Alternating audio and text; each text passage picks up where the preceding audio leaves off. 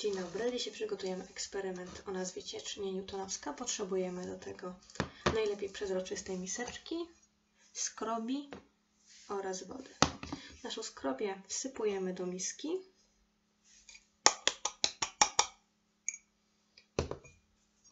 I zalewamy niewielką ilością wody. Już podczas mieszania możemy poczuć, że ciecz jest jednocześnie jakby rozpływa się, ale kiedy dotykamy jest twarda.